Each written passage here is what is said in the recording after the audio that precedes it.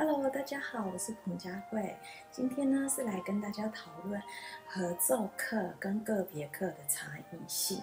那我是觉得呢，比如说像个别课呢，它就是比较是演奏技能的养成；合奏课呢，我觉得它也是必要的。就是当你学了这个乐器之后，你自己吹吹久了，你会觉得哎有点无趣，你就会想要跟朋友玩个什么室内乐二重奏啊、三重奏、四重奏，甚至进乐团这样子。那我会觉得说，这时候你就要有一些合奏课的训练。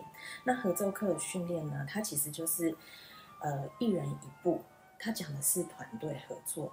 比如说我第一步，你第二步，他第三步、第四步、第五步、第六步等等。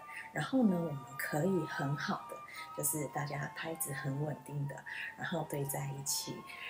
然后乐句的衔接呢，一步加一步，一步加一步，这样子可以非常有默契。这样，然后我觉得这个就是合作课重要性。你要怎么样可以跟别人团队合作，这个也是很重要的。